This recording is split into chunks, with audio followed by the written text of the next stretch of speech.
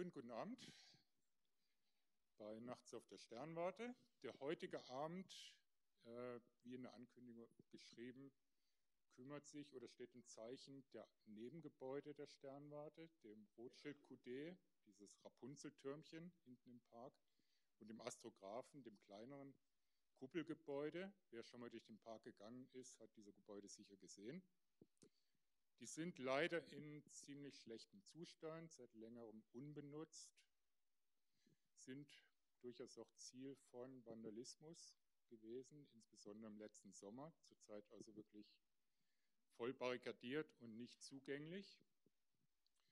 Wir haben jetzt eine Gruppe gegründet. Wir sind vor allem Herr Professor Werner Weiß und Josef Rohn, ähm, die zum Ziel hat, sich um den Erhalt dieser Gebäude zu kümmern.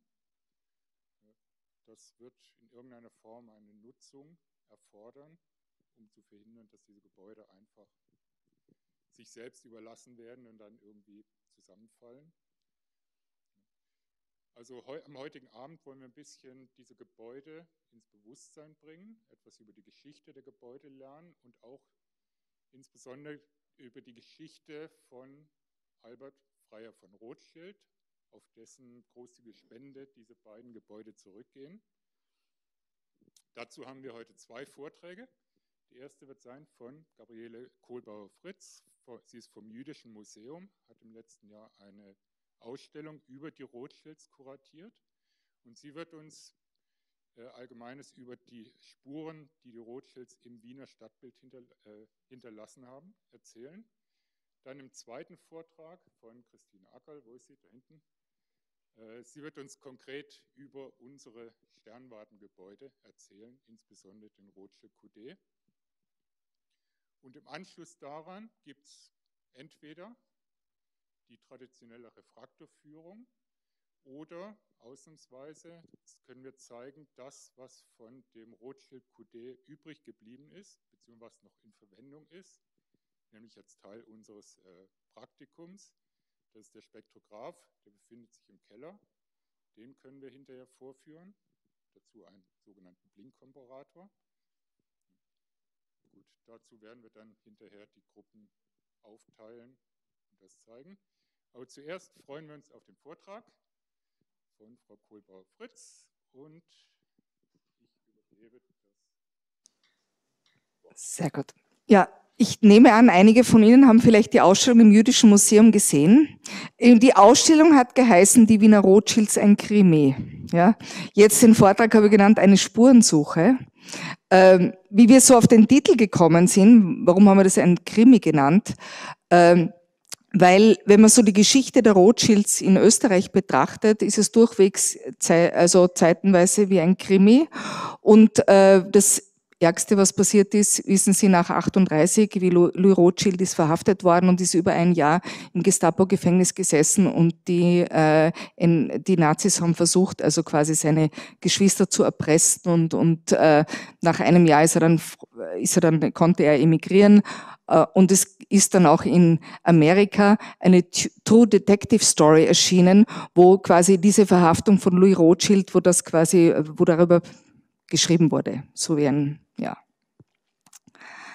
Ja, wenn die, die, diejenigen, die die Ausstellung gesehen haben, die können sich vielleicht erinnern an die Eingangssituation. Da hatten wir eine Sphinx aufgestellt.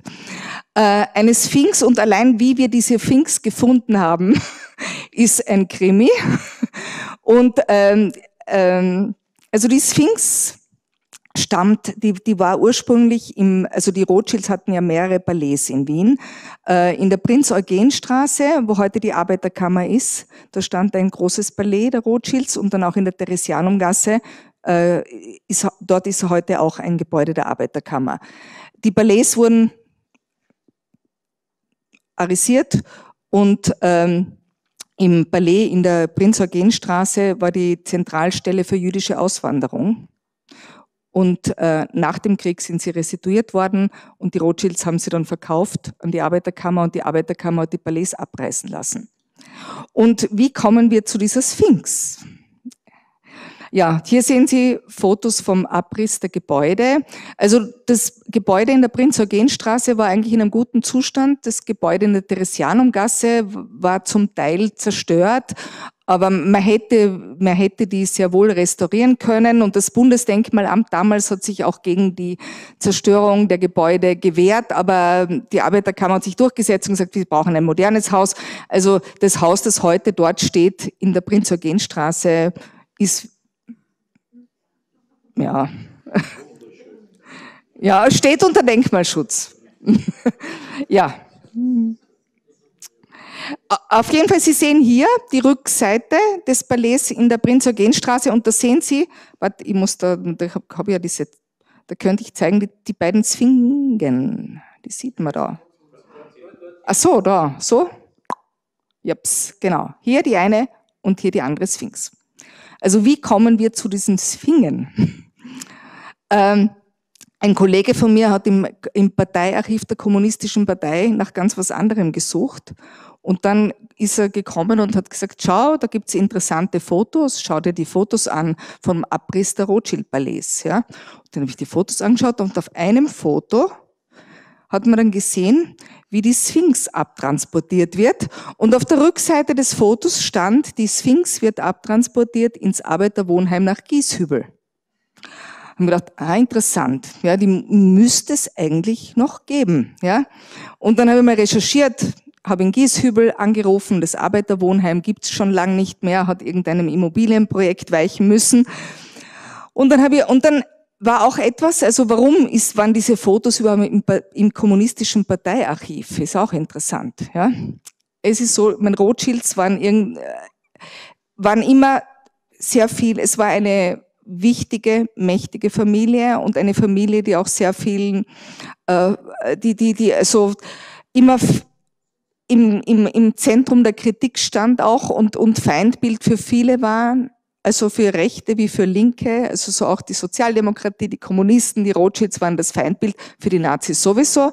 Und ähm, es ist sehr viel polemisiert worden gegen die Rothschilds und äh, da gab es so eine und ähm, äh, es gab so eine Zeitschrift, eine kommunistische Zeitschrift von Bruno Frey herausgegeben, wo dann auch also so geschrieben wurde über den Abriss der Rothschilds Palais mit einer gewissen Suffisanz, also mit so einer gewissen Befriedigung, so quasi die, die, die reichen Paläste sind weg. Und äh, äh, es wurde auch wirklich, es wurden Steine dann verwendet für die, für die Restaurierung des Stephansdoms. Der Stephansdom ist ja während des Krieges dann zum Teil also beschädigt worden und man hat da so die, und der, der Artikel in dieser Zeitschrift hieß also, äh, Steine vom Rothschild Palais, äh, Ste äh, na, Steine vom Rothschild Palais für, für den Steffel, ja.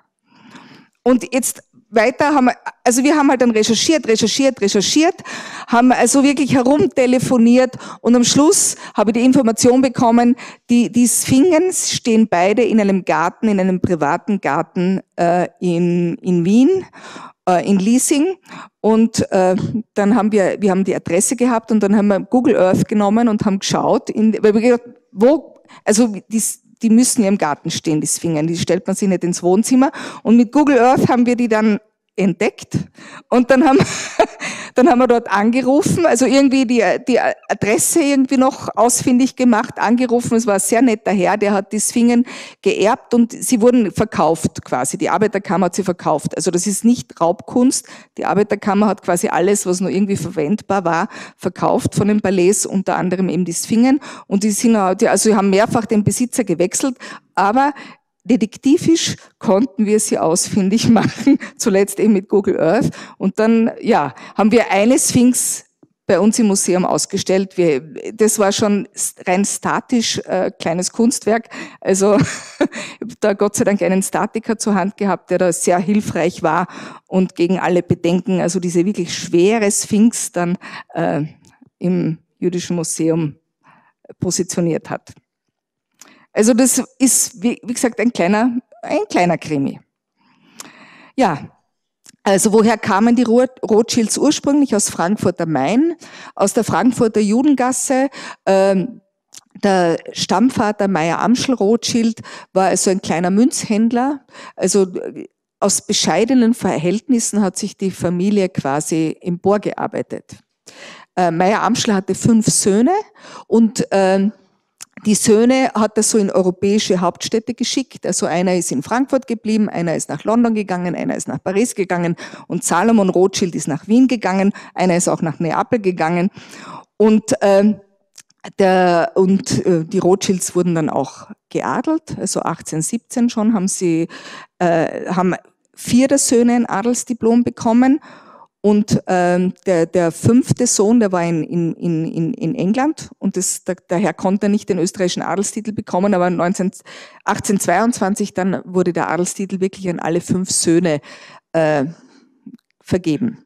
Und wo, wobei man dazu sagen muss, Adels, diese Adelstitel in Österreich, das, äh, das war ja eigentlich so, das war so eine Einnahmequelle für den Staat. Ja, den Adel haben, hat man bekommen, also Geschäftsleute haben ihn bekommen, äh, dann äh, Professoren, Künstler, also das, man musste dafür zahlen und da gab es auch dann so Abstufungen, also vom Ritter, Freiherr, Baron und man hat jedes Mal bezahlt dafür und dann ist man irgendwie so langsam aufgestiegen und der Adel ist aber nicht, nicht zu, äh, hat, also ist was anderes als Aristokratie, er ist nicht Geburtsadel, ja. Genau, nicht das blaue Blut. Wobei man dazu sagen muss, die, also und, und in Österreich sind also die Adelstitel sehr freizügig vergeben worden und äh, also auch Juden konnten geadelt werden und auch zu einer Zeit, wo Juden noch keine äh, staatsbürgerlichen Rechte hatten, also Toleranzsteuern zahlen mussten, haben sie trotzdem oft einen Adelstitel bekommen. Ja, das hat sich, also das, das ist so, so, so eine österreichische äh, wie man so sagen, ein österreichischer Widerspruch sozusagen. Ja? Weil in Preußen hingegen war es eigentlich fast unmöglich, wenn man nicht getauft war, geadelt zu werden. Aber in Österreich, der Kaiser hat die Adelstitel, hat ein gutes Geschäft damit gemacht sozusagen. Ja, und was ich noch sagen wollte, die, die Rothschilds waren dann die einzige Familie, die dann, also so in den späteren Generationen, die dann Zutritt hatten, also die Hof, also die, die, die, die Hofbesitzfähigkeit gehabt haben. Das heißt, die haben zu, die waren zu gleichgestellter Aristokratie. Die haben zu, die wurden zu Kaisers Familienfesten eingeladen. Also die waren dann wirklich der, äh, der, dem Geburtsadel gleichgestellt. Ja, so, so mächtig waren sie. Genau. Das ist ein Bild aus der Ausstellung. Äh, da sieht man nämlich sehr schön den Salomon. Ja? Salomon Rothschild, der ein sehr eitler Mann war. Also von ihm gibt es zahlreiche Porträts. Neben ihm ist Metternich. Ja, das war so ein, äh, das war so, er, hat mit Metternich sehr gut zusammengearbeitet. Das war fast nicht nur eine äh, politische, wirtschaftliche Beziehung, es war schon fast eine freundschaftliche Beziehung. Und hier ist äh, Friedrich von Genz, Sie kennen wahrscheinlich die Genzgasse, die, die ist ja eh ganz in der Nähe, aber niemand weiß, wer dieser Genz war. Ähm, und Genz war so quasi äh, Sekretär von äh, Metternich. Er hat eigentlich diese, er hat äh, Salomon Rothschild mit Metternich bekannt gemacht. Und Genz war auch der, ich würde sagen, der PR-Agent der Rothschilds. Ja? Also die Rothschilds waren sehr, warum waren sie so erfolgreich? Ja, das ist so einer der, eine der Fragen, die immer wieder auftaucht. Also wie konnte diese Familie so erfolgreich sein? Ja, und es hat gab viele Familien gegeben, die äh, zwei, drei Generationen äh, erfolgreich waren und dann sind sie wieder verschwunden. Ja, und viele Bankhäuser hat es gegeben, die Arnstein, Pereira, Guy Müller und so weiter, die für kurze Zeit wichtige Bankhäuser waren und dann waren sie wieder weg. Und die Rothschilds haben sich eigentlich über 100 Jahre halten können. Und ich sag also es war ein, sie hatten einfach ein sehr modern aufgestelltes Unternehmen. Ja, sie haben gewusst, was ist wichtig, PR, ja, dann was ist wichtig, ein Netzwerk. Ja, also die Söhne, die in den, in den europäischen Set, äh, äh, Städten gesessen sind und die eigentlich sehr, sehr, also gut miteinander zusammengearbeitet haben, sehr loyal waren und die, wenn einer mal äh, irgendwie Pech gehabt hat, haben ihm die anderen aus der Patsche geholfen sozusagen. Also sie waren, sie waren wirklich ähm, extrem und dann waren sie auch breit aufgestellt. Ja, sie haben dann also so, sie haben begonnen als Münzhändler, als Bankiers und dann haben sie auch Unternehmungen gegründet und äh, ja, das waren so die Erfolgsrezepte dieser Familie. Genau, und dieser Friedrich von Gens, der PR-Agent, das sage ich auch, also wie Salomon Rothschild ist nach Wien gekommen, eigentlich um dem, der österreichische Staat hat Geld gebraucht und die, die, die, die Wiener Bankhäuser waren nicht potent genug, also so viel Geld, so viel Kredite zu verschaffen. Und dann haben, haben, haben sie, also hat das Bankhaus Fries hat dann Rothschild mit, also so mit, mit, mit hineingenommen. Und äh, der Rothschild hat dann alle anderen irgendwie ausgetrickst, der Salomon. Und äh, dann ist, und da gab's dann, also so, da, da war dann ein bisschen eine negative Presse, da hat sich auch ein Bankier dann um, also der ist in, in die Donau gegangen und da gab's eine negative Presse. Und da hat dann der Friedrich von Gens einen, schönen Lexikonartikel im Brockhaus über die Familie Rothschild äh, verfasst, wo er sie halt also so über den grünen Klee gelobt hat und in sehr einem guten, positiven positiven Licht dargestellt hat. Also PR ist wichtig. Ja. Also und da, wir haben die Ausstellung genannt, die Wiener Rothschilds ein Krimi. Also nicht manchmal waren die, die, die Rothschilds waren nicht immer die Opfer in dem Krimi. Ja. Manchmal waren sie auch durchaus äh, auf der Akteursseite. Ja, das, also das, diese Geschichte habe ich Ihnen gerade erzählt. Also das war der David Parrish, war dieser Bankier, der dann irgendwo, der den Salomon Rothschild also so quasi äh, angeworben hat und dann also von ihm sich ausgetrickst gefüllt hat und der dann in der Donau, also in der Donau ertrunken ist und ja und und dann auch Anschuldigungen gegen Rothschild erhoben hat. Also das ist der Metternich, aber der, das hier ist der Metternich, gell? Okay. Gehen wir weiter. Äh, die, das Hotel zum römischen Kaiser, das ist im ersten Bezirk. Teile des Gebäudes bestehen auch noch bis heute. Das war so quasi das erste Rothschild-Viertel in Wien. Das war im, im ersten Bezirk. Dann später sind sie in den vierten Bezirk übersiedelt. Und ähm, Rothschild, also Rothschild ist nach Wien gekommen, Salomon Rothschild, und zu der Zeit durften äh, Juden in Wien nicht Grund und Boden besitzen. Ja? Und er hat sich einfach im Hotel eingemietet und er hat das ganze Hotel gemietet. Ja? Und äh, man muss etwas sagen, äh, Salomon Rothschild ist dann äh, ist zum Ehrenbürger der Stadt Wien ernannt worden und als Ehrenbürger der Stadt Wien galten dann alle Einschränkungen für ihn nicht mehr. Und dann hat er das ganze das Hotel gekauft und hat es umbauen lassen. Ja? Also es gibt sehr wenig Juden, die Ehrenbürger der Stadt Wien, es gibt überhaupt sehr wenig Ehrenbürger der Stadt Wien. Also wir haben dann für die, in der Ausstellung das Ehrenbürgerbuch ausgeliehen vom Magistrat und äh, raten Sie mal, wer der letzte, es ist ein Buch, ja, wo alle Ehrenbürger verzeichnet sind, die die Ehrenbürgerschaft bekommen haben und die war wirklich mit großen Privilegien verbunden. Also wie gesagt, für Juden waren dann alle einschränkenden äh, Diskriminierungen sind gefallen, wenn man Ehrenbürger wurde. Also der Salomon Rothschild war drinnen, der Anselm war auch Ehrenbürger. Und raten Sie, wer der letzte Ehrenbürger war in dem, in dem Buch? Er lebt noch. Das war der Bürgermeister Häupl. Ist interessant, oder? Ein Buch. Ja, die 48er Revolution war so quasi die erste große Krise für das Haus Rothschild, für das, für das, für das Wiener Haus. Äh, und ähm, Metternich musste aus Wien fliehen, wie Sie wissen, und Salomon Rothschild hat ihm zur Flucht verholfen. Also er hat ihm das, das Fluchtgeld gezahlt sozusagen und er musste dann selber auch Wien verlassen. Ja. Und das war so eine Krise, dass eigentlich ähm, äh, also dass das, das, das, die, die Wiener Filiale wirklich sehr gefährdet war. Und aber mit Hilfe seiner Brüder, die ihm dann wieder aus, die, die da ausgeholfen haben, ist es gelungen, äh, das Wiener Haus wieder zu, zu konsolidieren. Ja, so ein kleiner Ausflug nur, aber ich habe das in der Ausstellung haben wir das auch, also eine diplomatische Affäre, ich meine, das ist gerade sehr aktuell, Russland, Österreich. Das gab es eine, also Rothschild war er ist auch immer, also die Familie ist immer, sie, sie haben sich nicht taufen lassen. Ja, sehr viele Wiener Juden haben sich in der zweiten, dritten Generation einfach taufen lassen unter dem Druck der Assimilation und den Diskriminierungen. Die Rothschilds waren so mächtig, dass sie das nicht nötig gehabt haben und sie waren immer fromme Juden und haben auch immer ihren Glaubensbrüdern geholfen, wenn's, äh, wenn, wenn es äh, Probleme gab. Und ähm, eine, eine, eines dieser Probleme war die Flucht des berühmten Wunderrabbiners Israel Friedmann, der in Russland in Schwierigkeit, der ein, ein, ein Zadig war. Ein Zadig ist wirklich so ein Wunderrabbiner, der Anhänger gehabt hat. Und diese Friedmann-Dynastie war sehr, ähm, sehr berühmte Dynastie. Es gibt auch jetzt noch immer äh, Nachfahren dieser, sind immer noch sehr wichtige chassidische ähm, ähm, Rabbinerdynastie und äh, die, der Israel Friedman ist so, hat in einem, war, hat gelebt wie, also seine Anhänger haben ihm immer, haben, haben ihm sehr unterstützt und er hat gelebt wie ein, wie ein Baron in einem Schloss, auch in Russland und in, ist mit den russischen Behörden irgendwo in, äh, hat er Schwierigkeiten bekommen, ist nach Österreich Ungarn geflüchtet und äh, die Russen haben eigentlich also seine Auslieferung verlangt.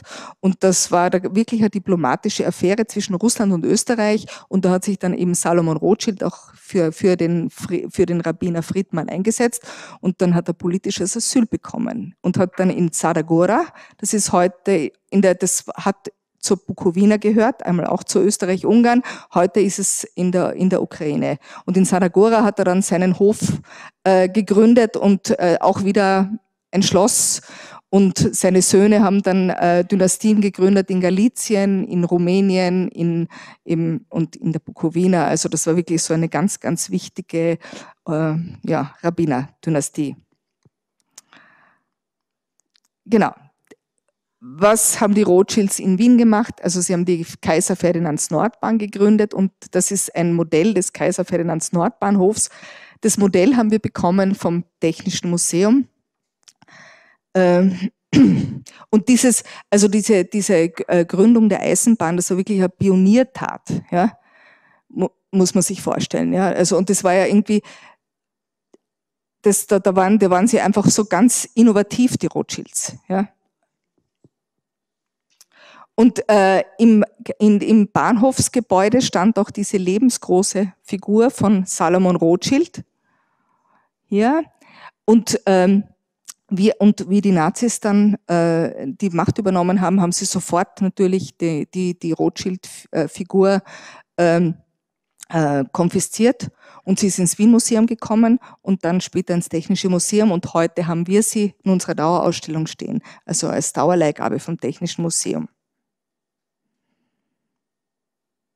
Ja, die Witkowitzer Werke, das war auch, also die, die, das eine, eine, das, das haben die Rothschilds ähm, gekauft und äh, das war das, der größte Eisenstahlbetrieb in Österreich-Ungarn. Es war ein riesiges, riesiges äh, Industrieunternehmen. Und also und dann so dann ein hat genau, das ist Anselm von Rothschild, das ist der, das ist der Sohn vom Salomon und er also er hat dann die Kreditanstalt gegründet, die Kreditanstalt für Handel und Gewerbe, das ist die spätere CA. Ja. Also so quasi, sie waren dann in der Industrie, im Verkehr, in der, in, im Bankenwesen, also sie waren wirklich extrem breit aufgestellt. Ja. Und sie haben dann so über Europa hinausgehend, also auch dann in Südafrika Goldminen gehabt und also sie waren, es war ein, ein richtiges Weltunternehmen dann. Ja. Und also das ist auch wieder so ein kleiner Krimi. Ich habe Ihnen vorhin erzählt, bin eh noch nicht so lang. Na, das geht. Ja. Äh, ich habe Ihnen vorhin erzählt, dass Salomon Rothschild war sehr eitel. Von ihm gibt es zig Porträts. Sein Sohn Anselm war eher zurückgezogen, war äh, also und er hat also, er hat also eigentlich den Grundstock für die Kunstsammlung der Rothschilds gelegt. Die Rothschilds hatten eine sehr, sehr wertvolle und sehr großartige Kunstsammlung. Und äh, von ihm selber gab es keine Porträts. Er wollte sich nicht porträtieren lassen. Und es gab aber so einen Wiener Karikaturisten mit Namens Klitsch, der auch eine, also der ein Karikaturist war ein gelernter Landschafts- und Porträtmaler und er hat auch humoristische Zeitschriften herausgegeben und der hat also so heimlich ein, ein, eine Skizze, ein, ein Skizzenporträt von Anselm äh, irgendwo in der Oper oder im Theater. Er hat ihm irgendwo heimlich skizziert und hat dann zu Hause ein lebensgroßes Porträt von ihm angefertigt, vor einer Parklandschaft sitzend und ähm, hat ihm das also wie ich da überhaupt draufgekommen bin, das ist auch interessant, und hat ihm das dann verkaufen wollen. Und dem Anselm hat dieses Porträt nicht gefallen, er wollte es nicht kaufen, woraufhin der Herr Klitsch äh, in seinen satirischen Zeitschriften ein bisschen polemisiert hat und gesagt, der reiche Anselm Rothschild will das Bild nicht kaufen und hin und her. Nolens Wohlens hat er das dann gekauft. Und ich habe das gefunden in den in unveröffentlichten Memoiren von einem ähm, von einem gewissen Goldschmidt, das war so der Prokurist der Rothschilds, der mit, den, mit Salomon aus Frankfurt äh, nach Wien gezogen ist. Und dann steht weiter, ja, was ist weiter mit dem Bild passiert? Also der Anselm hat es nie bei sich hängen gehabt. Es hat ihm überhaupt nicht gefallen. Äh, was wird mit dem Bild schon passiert sein? Er hat es irgendwo hinterm Kasten stehen gehabt. Wahrscheinlich haben es die Mäuse gefressen. So steht es in, der, in, dem, in, in diesem unveröffentlichten Manuskript. Und dann haben wir gedacht, irgendwie wäre es interessant, ob nicht das Bild irgendwo in Wien noch überlebt hat. Und dann habe ich gesucht, habe gedacht, Klitsch, habe also, bei, also einfach bei den anderen Museen geschaut, ob es irgendwas von ihm gibt. Dieser Klitsch war ein, der hat da ein eigenes Lithografieverfahren auch entwickelt. Also er war irgendwie sehr umtriebig. Äh, als, als Maler war er nicht wirklich, also äh, ich habe nirgendwo in Wien was gefunden von ihm. Also nur mit seiner, mit seinem Litho, der Klitschografie, so heißt das. Wie das genau funktioniert, kann ich nicht sagen, aber ein eigenes spezielles Verfahren. Auf jeden Fall habe dann gedacht, so, jetzt schaue ich einmal in der eigenen Sammlung, ob wir alle Porträts von unbekannten Persönlichkeiten, die wir in der eigenen Sammlung haben. Ja? Und dann schaue ich so und dann sehe, ja, wir haben so ein, ein Porträt, Mann vor einer Parklandschaft sitzend, signiert Kletsch. Das hat quasi der, der das bei uns inventarisiert hat, hat es einfach falsch nicht lesen können. Äh, und hat es und, und so habe ich und dann bin ich sofort ins Außenlager gefahren, weil wir haben wir haben auch gefunden, das Porträt ist hässlich und haben es daher im Außenlager irgendwo deponiert. Hab's, und war mir klar, es ist es. Ja? Und dann habe ich, wir haben auch ein, ein, ein Inventarbuch, ein altes Inventarbuch vom Alten Jüdischen Museum. Sie wissen, also wir sind eigentlich das älteste jüdische Museum der Welt, 1895 gegründet 38 wurde, 1938 wurde das Museum geschlossen, von den Nazis konfisziert, äh, die Sammlung wurde konfisziert und dann in den 50er Jahren hat die, hat die jüdische Gemeinde das wieder zurückerhalten. Und äh, ja, und in dem alten Inventarbuch sehe ich, dass 1905 jemand aus der Familie Goldschmidt, also aus der Prokuristenfamilie, dem alten jüdischen Museum das Porträt geschenkt hat und dass es aber keinen Platz gab im alten jüdischen Museum und dass das alte jüdische Museum das Porträt dann dem Rothschild-Spital verliehen hat als Leihgabe. Und was dann weiter passiert ist, also das Rothschild-Spital das war ja bis, das ist nicht das Rothschild-Spital, das ist noch die Kreditanstalt am Hof.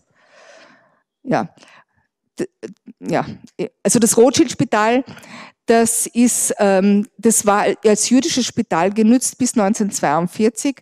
Dann mussten die letzten jüdischen Patienten aber wurden abgesiedelt, die mussten dann in die Malzgasse übersiedeln und dann hat die, die SS das so als Lazarett verwendet. Und nach dem Krieg, also es kommt dann auch noch, ist das Rothschild-Spital, also an die IKG, also es war dann ein DP-Heim für, für ein DP-Lager für Displaced Persons, für jüdische Flüchtlinge aus Osteuropa. Und dann später hat die, also die IKG hat es auch restituiert bekommen und später hat die IKG das dann ans Wifi verkauft und es steht heute das Wifi-Gebäude dort. Äh, ja, aber das sind noch, äh, das sind noch die Allegorien des Handels, der Industrie und der Eisenbahn vom Gebäude der Kreditanstalt. Also das sind Gipsfiguren, die jetzt im Wien-Museum sind. Also das waren natürlich riesige Figuren auf dem Gebäude und das war, das, die haben wir auch ausgestellt gehabt bei unserer, in unserer Rothschild-Ausstellung. Ja, der nächste Krimi. Ich hoffe, bin ich schon zu lang oder geht's noch? ein Kunstkrimi, wo die Rothschilds aktiv involviert waren. Und zwar ist es das, ein, ein, das Dornenreliquar, ein mittelalterliches Dornenreliquar, das in der geistlichen Schatzkammer ursprünglich war. Und in den, äh, so im, ich kann es jetzt nicht genau sagen wann, also so in den 1870er oder 80er Jahren ist es restauriert worden. Ja, also es ist, und ähm, in die Restaurierung war ein gewisser Salomon Weininger äh, verwickelt. Der war so ein ähm, Händler und Restaurator und irgendwie ein Hans Dampf in allen Gassen. Und er hat dann dieses Dornenreliquar ausgetauscht. Also das, die geistliche Schatzkammer oder jetzt, also jetzt ist es ja im Kunsthistorischen Museum, hat dann eine Kopie, also eine Fälschung aus dem 19. Jahrhundert zurückbekommen. Das hat dort kein Mensch gemerkt. Und das Original ist in der, in der Rothschild-Sammlung gelandet und ist jetzt in England im Waddesdon Bequest im British Museum. Und man ist dann erst drauf, also dass es sich um eine Fälschung handelt, oder ist man erst so in den 1920er Jahren mal im Kunsthistorischen Museum draufgekommen. Aber es ist eine wilde Geschichte. hat der Anselm Rothschild gewusst, dass er das echte, das echte Reliquar kauft und dass das, dass die geistige Schatzkammer die, die Fälschung bekommt oder nicht, das ist nicht wirklich geklärt. Darüber gibt es keine Aufzeichnungen. Aber es ist auf jeden Fall eine sehr lustige Geschichte. Der Salomon Weininger ist selber auch im, oh, im Gefängnis gesessen und sein, sein Enkel ist der Otto Weininger, den vielleicht einige von Ihnen kennen, der sehr umstrittene Philosoph. Ein, also so, er war Geschlecht und Charakter. Also ein, war das Buch von ihm, also so ein Fin de Philosoph, der eigentlich äußerst fragwürdig war, frauenfeindlich, antisemitisch, obwohl er selber aus einer jüdischen Familie war und er hat ganz jung Selbstmord begangen und ist dann so als, als, als verrücktes Genie in die Geschichte eingegangen. Aber ich meine, ich, ich finde das Buch nicht wirklich lesbar, aber es hat trotzdem, es hat trotzdem unglaublich viel Aufsehen erregt seinerzeit. Ja. Der Börsenkrach, also hat letztendlich dazu geführt, also dass so populistische Massenparteien entstanden sind und äh, auch Rothschild immer mehr im Zentrum antisemitischer Kritik gestanden ist und dann also so sehr gegen die Rothschilds polemisiert wurde, also wie Sie auf dieser, an dieser Karikatur hier sehen. Ja, die sozialen Stiftungen, ich habe schon erwähnt, das Rothschild-Spital am, am, am Gürtel, wo jetzt das Wifi-Gebäude steht. Äh, nach 45 war es ein DP-Lager für jüdische Flüchtlinge aus Osteuropa. Dann die Nervenheilanstalt am Rosenhügel. Da haben vielleicht einige von Ihnen mitbekommen, da gab es jetzt so ein bisschen einen Clinch mit der Gemeinde Wien auch, weil einer der Erben der Rothschilds, der äh, äh Hoge, äh, äh, hat, ähm, wollte dass also so die der hat jetzt gegen die Stadt Wien prozessiert. Und zwar also der Rosenhügel das war die größte Stiftung der Rothschilds in der Monarchie. Das war so ein, eine Nervenheilanstalt. Ist in einem wunderschönen Gelände ich weiß nicht ob Sie das kennen. Also das ist ein riesiger Park dabei. Und äh, in der Nazizeit ist natürlich auch das, äh, das Gelände arisiert worden. Ein Teil ist, für die, ist an die Wien Film verkauft worden und ähm, und die Stiftung, äh, die Stiftung ist, ist, ist, ist, ist arisiert worden und danach ist es wieder eingesetzt worden. Also nach 45 ist die Stiftung wieder eingesetzt worden. Und da war es aber so, dass dann quasi eine Magistratsabteilung der Stadt gegen die andere, ähm, also die eine Magistratsabteilung hat der anderen Magistratsabteilung restituiert. Ja? Und in der ursprünglichen, also es ist eine komplizierte Geschichte, aber in der ursprünglichen Stiftungs, ähm, im, äh, in, in der ur ursprünglichen Stiftung war vorgesehen, also welche Mitglieder die Stiftung haben soll und jetzt sind eigentlich nur mehr Vertreter der Stadt Wien vertreten in der Stiftung und die Rothschilds wollten das wieder also so revidiert haben. Es ist natürlich dann hier auch ein bisschen also, äh, politisch instrumentalisiert worden, das Ganze, ja, ÖVP gegen SPÖ, also so schwierige Geschichte, ja. Aber ist, der Herr Hauge hat selber auch, also leidet an Parkinson und hat daher also ein sehr, er will nichts für sich zurückhaben, er will nur, dass dieses Spital als Spital erhalten bleibt, dass dort nicht jetzt der riesige Park irgendwie schön langsam irgendwie äh, Wohnprojekten, irgendwelchen Immobilienprojekten weichen muss. Das ist eigentlich sein Anliegen. Ja. Und ja, also man muss hoffen, dass vielleicht jetzt durch diesen Wirbel, den, das, den, den dieser Prozess verursacht hat, dass irgendwie jetzt ein gewisses Bewusstsein da ist und dass man nicht einfach dann irgendwie den Bug, also den Bug äh, schön langsam aufsplittert und, und eben dort Immobilienprojekte realisiert, weil es ist natürlich eine wunderschöne Gegend dort, da kann man wunder, könnte man wunderbare Luxusbauten hinstellen.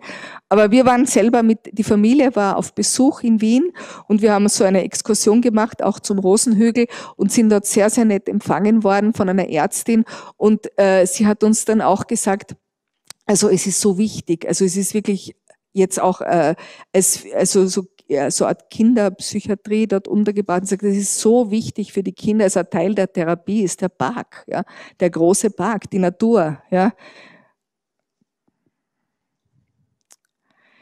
Ja, Kaiserin Elisabeth Spital, da waren wir heute, ich habe es äh, dem Herrn Weiß, glaube ich, erzählt, wir waren heute dort, also da, da gibt's den, das ist, war eine Stiftung vom Albert, Und zwar seine Frau ist sehr jung an Brustkrebs gestorben und er hat dann eben den Bediener Pavillon dem Kaiserin Elisabeth Spital gestiftet. Und äh, das Spital gibt's nicht mehr, da steht jetzt ein Wohnbau und ein Altersheim und der Bediener Pavillon ist ein Pflegeheim der Caritas. Und ähm, sie haben und sie haben äh, sie wollten dann also sie haben die, die, die Architektin ist an uns herangetreten und gesagt, sie wollen kleine Gedenktafeln für die Rothschilds auch haben. Und da haben wir ihnen ein bisschen geholfen und es ist sehr, sehr schön geworden. Wenn Sie einmal Zeit haben, dorthin zu schauen, kann ich sehr empfehlen. Also das ist, das ist im 15. Bezirk. Genau, dann die Rothschildgärten auf der Hohen Warte. Also äh, auf der Hohen Warte gab's, also das war eine, das hat dann ein Nathan, Nathaniel von Rothschild, der hat diese Rothschild-Gärten gegründet und dann ist es auch weitergeführt worden. Und es waren riesige Gartenanlagen mit Glashäusern und wo die, die Rothschilds dann auch, also so äh, Orchideen gezüchtet haben und äh, es gab da äh, äh, also da konnte man quasi Erdbeeren und Ananas und, und exotische Früchte das ganze Jahr über ernten. Teilweise sind die Gärten auch dann für die Öffentlichkeit zugänglich gemacht worden und das, äh, da hat man Eintrittsgelder verlangt und das ist dann der Freiwilligen Rettungsgesellschaft äh, gestiftet worden. Äh, die, die, die Figur, die Sie da in der Mitte sehen, die ist jetzt noch erhalten und zwar im, in Kagran es gibt in Kagran so ein, nennt man das Gartenbaumuseum. Ja, ja das ist sehr schön. Äh, nicht jeden Tag offen, aber da, da ist diese, diese Figur aus den ehemaligen Rothschild-Gärten zu sehen und auch ein paar andere Dinge. Ähm, das, die, diese Eingangssituation, die ist auch heute noch, also das, das ist das Einzige, was erhalten geblieben ist von den Rothschildgärten und diesen Laternenaufsatz mit den fünf Pfeilen, also symbolisierend die fünf Brüder und die Adel, also die alle fünf geadelt wurden. Also diesen, die, dieser Laternenaufsatz, der ist auch noch in Kagran im Gartenbaumuseum. Äh, die Rothschild-Gärten, die wurden 38 natürlich auch arisiert und äh, es war dann eine Zeit lang war so ein Hachschara-Lager für die Jugendallier dort untergebracht. Das heißt, jüdische Jugendliche, die gehofft haben, dass sie noch aus Wien wegkommen und die so vorbereitet wurden auf, dass sie so mit Landwirtschaft äh, lernen. Also die haben da auch, also so quasi, äh, sie, sie wurden dazu so landwirtschaftlichen Arbeiten angehalten und manch, die wenigsten, einige haben es dann noch geschafft, aus Österreich wegzu, wegzukommen. Und genau, sonst hat also vielleicht noch, ja, zurück zu den Rothschildgärten. Es war so, dass ähm, Baldur von Schirach, der hat dann dort auch residiert. Der hat, da gab es eine Villa und da hat er gewohnt und äh, es gibt so Erinnerungen von einigen der Jugendlichen, die überlebt haben und die sagen ja, also sie mussten Gemüse ernten und das alles dann und Obst ernten und hat alles für ihn und für seinen Haushalt, äh, äh also ihm, ihm, ihm, ihm quasi dienen.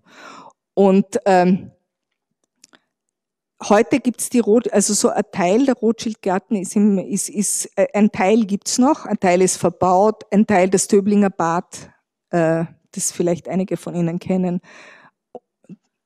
Und was vielleicht auch eine gute Geschichte ist, das ist, ähm, dass der Wiener Fußballclub, der erste Wiener Fußballclub, also gegründet ist auf der Hohen Warte, äh, den haben die Gärtner der Rothschild-Gärten äh, gegründet. Und weil, also die, das war, äh, Fußball war damals in Österreich noch ein unbekannter Sport. Und die Rothschilds haben also die Gärtner extra aus England kommen lassen, die also diese wunderschönen Gartenanlagen da eingerichtet haben. Und eben, so ist es zur Gründung des ersten Wiener äh, Fußballclubs gekommen. Wir werden eine Ausstellung darüber haben. Super Juice im, im, im, im, im Sommer. Also da sind Sie dann herzlich eingeladen zu kommen. Ja, Erste Weltkrieg, das war natürlich auch die nächste große Krise oder es hat eine Krise die nächste Krise abgelöst. Und also Vaterland vor Verwandtschaft. Also ich habe Ihnen gesagt, warum waren die Rothschilds auch so erfolgreich, weil sie einfach ein gutes Netzwerk hatten, ja. Und äh, sie waren im Prinzip für das Geschäftsmodell war auch Friede, ja, weil nur so konnte äh, konnte die, die konnte man kommunizieren miteinander, ja. Und der Erste Weltkrieg war so eine große Krise, weil da musste quasi mussten alle Rothschilds an den für ihre jeweiligen Vaterländer in den Krieg ziehen. Also die Wiener Rothschilds wurden eingezogen für Österreich, Ungarn zu kämpfen. Die Briten mussten für äh, für Großbritannien kämpfen die französischen Rothschilds für Frankreich. Und das war, also Vaterland vor Verwandtschaft, das war, das hat schon, äh, ja, das war eine große, äh, eine große Herausforderung. Und es war so, dass, ich meine, die Rothschilds ja auch zum Beispiel die, äh, dann versucht haben, also die Frauen vor allem dann humanitär zu helfen und zu vermitteln, diplomatisch zu vermitteln ähm, und haben sich für Kriegsgefangene eingesetzt. Also so, das war so eine Möglichkeit irgendwie. Aber hier das Foto, da habe ich aus dem Kriegsarchiv und ich finde das sehr nett, weil da ist ein Rothschild, ich glaube, es ist der Eugen Rothschild im Schützengraben. Und wenn Sie da genau schauen, da ist, also, ups, ja, so, ja, genau. Da ist, ein, da ist eine Häuserfassade. Ja, also man, das Foto sagt irgendwie, er ist ein Rotschild. Normalerweise lebt er in einem Palais, aber ähm, so der, auf, an der Front sind alle gleich und da ist er im Schützengraben genauso wie jeder andere Soldat. Ja, also insofern finde ich das irgendwie ein sehr, sehr, sehr witziges Foto. Genau, und dann die Folgen des Ersten Weltkriegs, also so, das war natürlich absolute wirtschaftliche Verwerfungen, Hyperinflation, äh, Spekulationen haben den Markt beherrscht. Und es gab also ein großes Ansteigen des Antisemitismus, es sind viele Bankhäuser sind bankrott gegangen und also auch die, Kredit, also die Kreditanstalt hat sich zwar halten können, aber dann gab es eine Affäre, dass die Kreditanstalt quasi, die also noch immer, wo die Rothschilds die meisten Anteile gehalten haben. Und dann sind, ist, die, ist die Kreditanstalt so quasi gezwungen worden, die Bodenkreditanstalt, ja, die in Schwierigkeiten geraten ist, zu kaufen. Und das hat dann die Kreditanstalt auch äh, in, ins Schwanken gebracht. Und dann musste quasi der österreichische Staat aushelfen, weil das war irgendwie also die Kreditanstalt hätte man nicht ein, eingehen lassen können. Ja, dann wäre der ganze Staat irgendwie, dann wäre Staatsbankrott angesagt gewesen. Und so, also wurde mit staatlicher Hilfe die Kreditanstalt gerettet. Und da haben sie natürlich alle unglaublich aufgeregt. Also, und ich habe ja so ein Plakat der kommunistischen Partei, ein Plakat der Nazis, also jeweils die Rothschilds, also so quasi als äh, die herhalten mussten als äh, Sündenböcke, die Bösewichte schlechthin sozusagen. Ich meine, dieses Feindbild Rothschild hat sich ja bis heute gehalten und wir haben hier in der Ausstellung auch so einen kleinen so eine Installation gehabt, wo wir jetzt, also gerade im Zuge der Corona-Krise, wo dann auch irgendwie so Verschwörungstheorien in Umlauf geraten sind und also quasi Rothschilds, äh, äh Bill äh, wenn, also halt, wo man halt irgendwie so ein paar Familien, Soros, Rothschild oder wo, wo dann einfach die, die, wo man gedacht, so die, die, die noch immer so die Welt regieren und wo einfach Verschwörungstheoretiker sich dann darauf versteift haben. Ja. Also das haben wir dann auch thematisiert. Und auch vollkommen absurd. Ja, also, ja. Die Geschichte nach 38, also äh, Louis Rothschild, ist, seine Geschwister konnten alle fliehen. Er war als einziger noch in Wien und ist dann am Flughafen quasi äh, verhaftet worden von der Gestapo. Und sie haben ihn dann, äh, er ist hier im, dieses Foto ist aufgenommen nicht im, im, am Morzinplatz, sondern das ist noch aus dem, äh, von der Rosauer Lände. Da ist er gemeinsam, also mit dem Leopold Kunschak, das ist er hier, ja, das ist der Louis Rothschild. Und Leopold Kunschak war eigentlich ein, ein ziemlich antisemitischer, äh, äh, äh, christlich-sozialer äh, Politiker aber sie sind gemeinsam im Gefängnis gesessen in der Rosauer Lände. Und Rothschild war ihm dann noch ein ganzes Jahr lang in Gestapohaft. Und dann, also die, äh, warum wollten, also was wollten, was wollten die Nazis in erster Linie? Sie wollten die Witkowitzer Werke haben.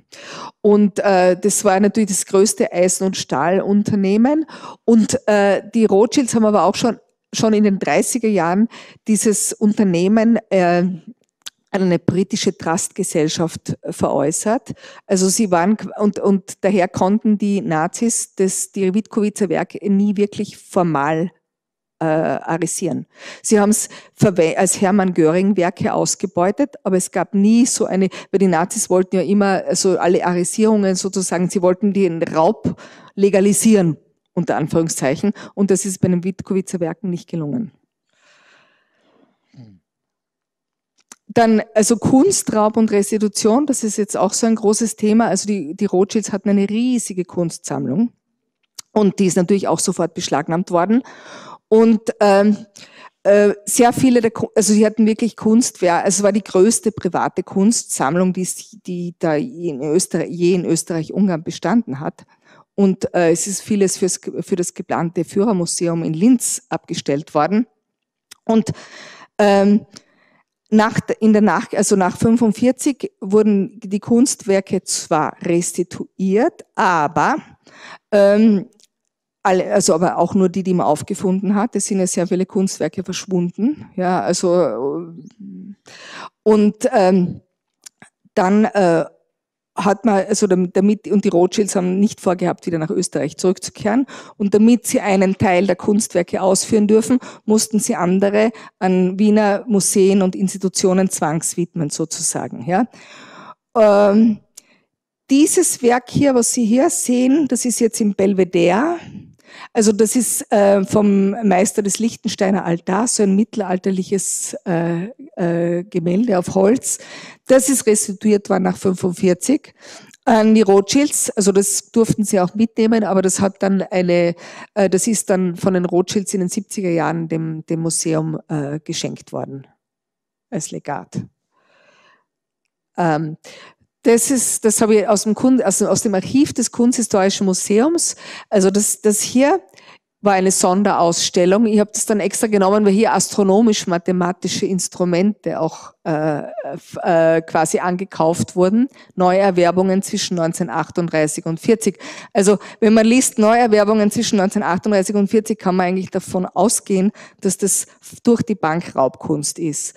Äh, und dieses äh, Inventarbuch hier, also die Rothschilds, die Kunstsammlung war natürlich äh, also die, die, die, die hatten Inventarbücher ihrer Kunstsammlung.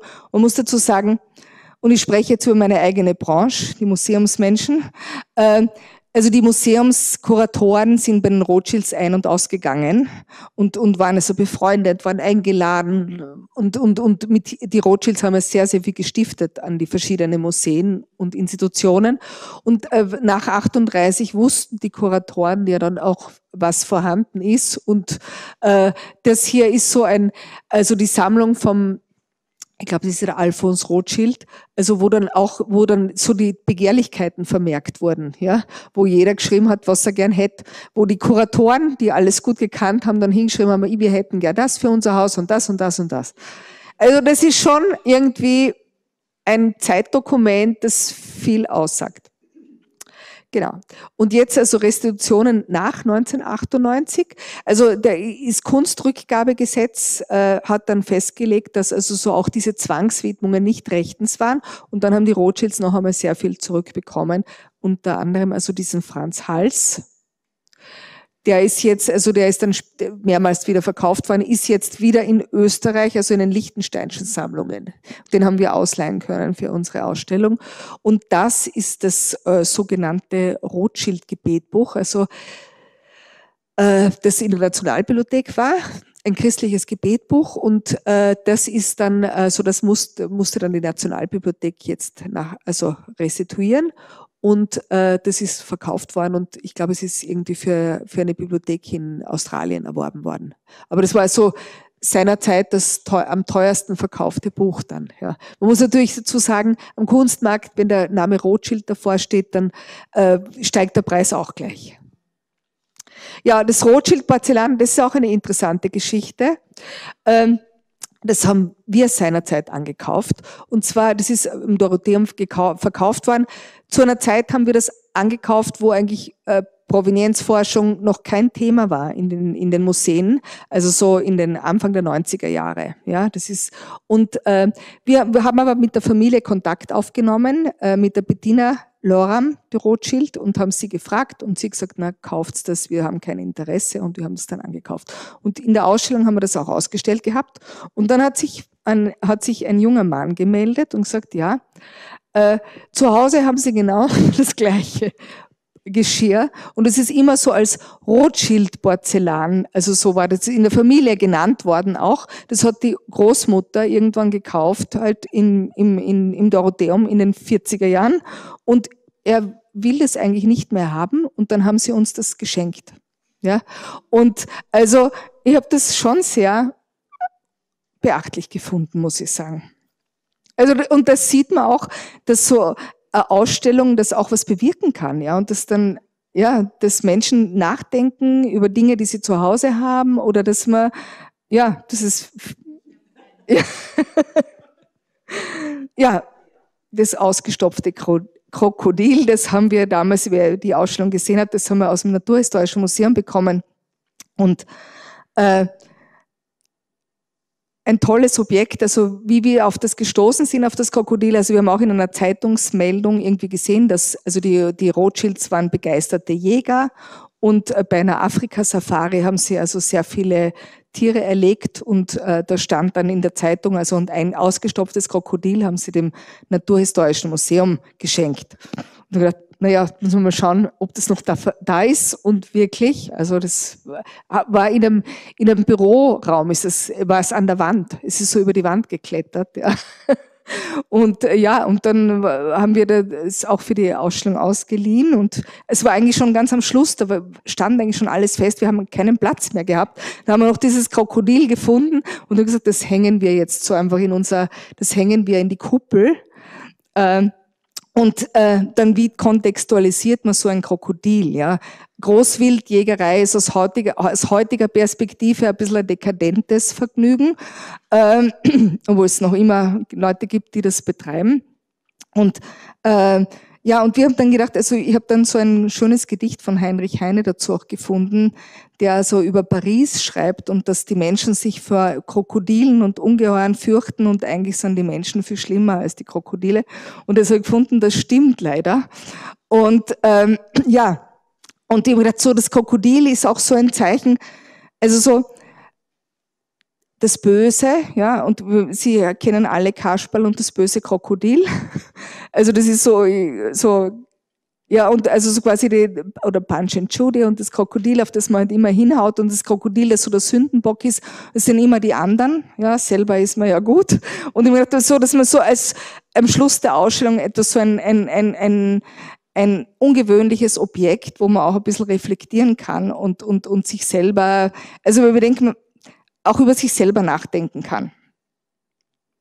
Ja, das war's dann und dann bitte die junge Kollegin.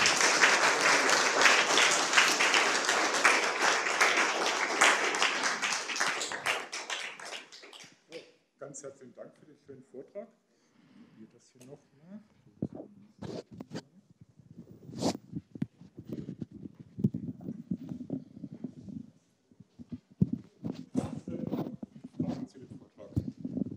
Ja, genau. Wenn Sie Fragen haben. Oh, jetzt will ich schon mal links. In Wien? Ja. Äh, Sternwarte hier, oder? Also gestiftet, sagen wir so. Ja.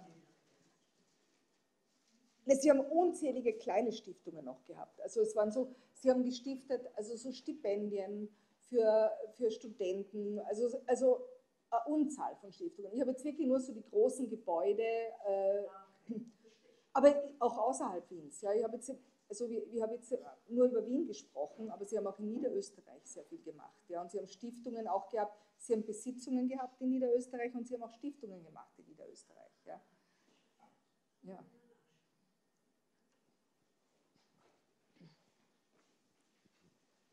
Ja, vielen Dank. Ich wollte noch fragen. Hoffe, ah, haben Sie noch eine Frage? Ja? Ja? Ja? Ich wollte fragen, ob die Rothschilds, wenn sie sich so über 100 Jahre in Zivilisation gehalten haben, in der Zeit auch kluge Heiratspolitik betrieben haben? Natürlich. Ja, ja, also Sie haben wieder Adel, so Cousin, heiraten zwischen Cousin und Cousinen war eigentlich so in der Familie laut geschrieben, oder? Sie haben Cousin und Cousinen haben sehr viel geheiratet, das war dann auch ein Problem. Das so wieder Adel, so wie Habsburger. Also in der dritten Personen gab es dann auch wirklich Krankheiten, die damit zu tun hatten. Ja? Dass sie immer versucht haben, das Geld zusammenhalten, war natürlich auch ein Teil der Politik. Ja? Dass man sagt, also so quasi, äh, und, und, der, äh, der Meyer Amschel Rothschild hat auch festgelegt, dass quasi nur, zwar sehr patriarchalisch äh, organisiert, das ganze Familienunternehmen, nur die Söhne können ins Familienunternehmen einsteigen, die Töchter nicht und die Schülersöhne auch nicht. Ja? Also das war auch so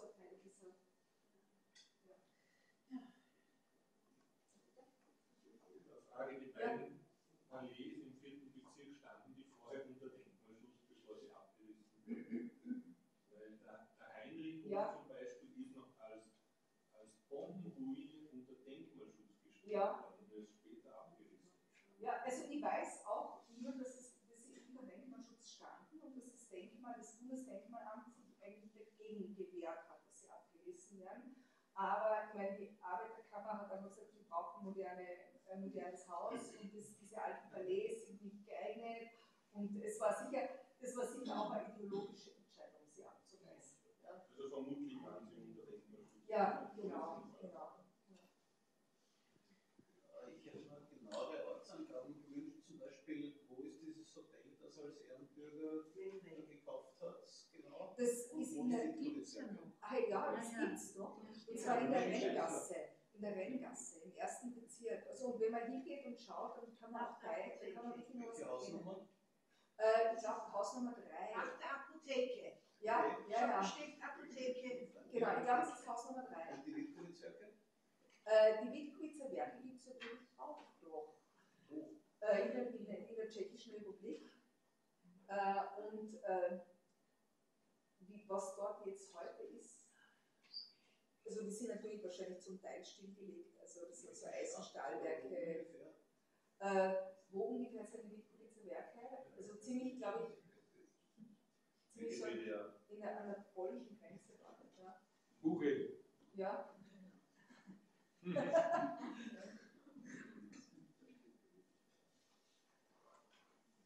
Ja, noch Frank?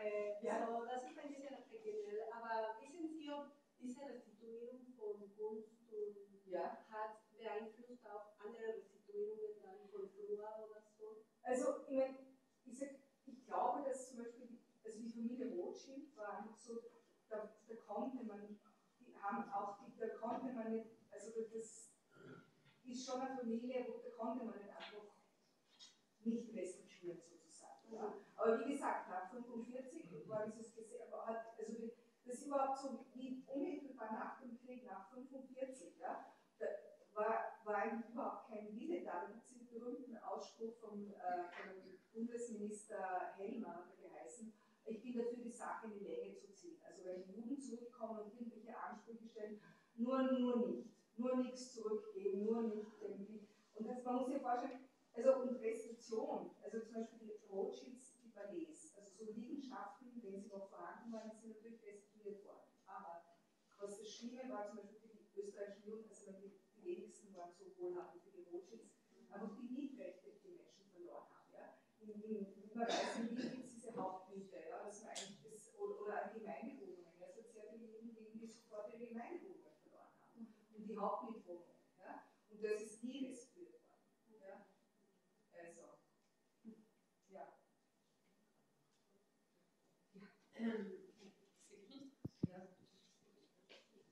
Test, Test, Test. Leise. Ähm, ach so, ja, ja. Ähm, eine Frage äh, ist mir noch eingefallen, ganz am Anfang. Da haben Sie gesagt, äh, 1848, da gab es die erste große Krise. Was ist denn da passiert? Naja, also es war die, die bürgerliche Revolution. Ja, es war die bürgerliche Revolution. Ich meine, muss man sagen, die Rothschilds waren natürlich sehr, sehr konservativ. Ja. Die meisten Wiener Juden waren liberal und haben eigentlich die Revolution unterstützt. Ja. Und es war einfach so, im Zuge der, also das Bürgertum wollte einfach auch politische Teilhabe haben. Und man muss sich vorstellen, Metternich, der hat ja so mit eiserner Hand irgendwie und mit seiner Geheimpolizei alles unterdrückt. Ja. Und äh, ja, die Rothschilds waren, auf, waren sehr, sehr konservativ auf Seite von Metternich, wohingegen also die meisten Wiener Juden sehr liberal waren und die also auf Seite der Revolution waren. Ja. Und ähm, und der Metternich ist dann so in die, also er, er musste am Schluss äh, fliehen, sonst hätte, sonst hätte man ihn wahrscheinlich irgendwie, also sonst, sonst wäre wär er umgebracht worden. Ja. Und, und es war eigentlich dann so einfach äh, der Wille, also man wollte politische, ein liberaleres System haben. Ja. Es war ein Feudalsystem vorher. Äh, ja, also Salomon ist auch geflüchtet und dann, dann ist er wieder zurückgekehrt. Und wie man weiß, die Revolution frisst ihre Kinder, so heißt es. Ja, es gab ja so eine, also so ein, ein, eine Sache, die während der Revolution passiert ist, war das erste ökumenische Begräbnis. Also die Gefallenen der Revolution, der Märzrevolution, die sind gemeinsam begraben worden. Da hat ein Pastor ein, ein, ein, katholischer Priester, evangelischer Pastor und ein, ein, Rabbiner, die haben gemeinsam die Gefallenen der Märzrevolution begraben. Ich glaube, das war der, äh, der St. Marxer Friedhof damals. Also das war so ein, so quasi jetzt, ja, so ein, ein Zeichen der, das, das hat alle, also der Brüderlichkeit, der Verbundenheit. Und ich meine, im Prinzip sind ja auch die ganzen nationalistischen Bewegungen dann aus der Revolution entstanden. Ja. Auf der einen Seite wollten wir dieses Feudalsystem zerschlagen und diese politische Kontrolle auf der anderen Seite. Also diese ganzen, also der Nationalismus des 19. Jahrhunderts fußt natürlich dann auch in der 48er Revolution. Aber gut. ja. Dann würde ich sagen, übergeben wir an Ja. Dankeschön. Ich glaube, ich würde mir auch das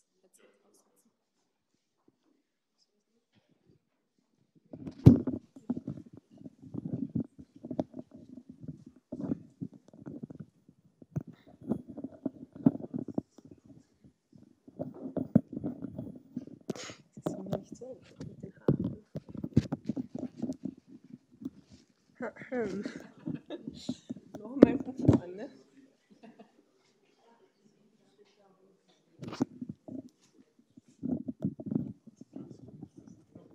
Ja. Test, Test, Test. Danke.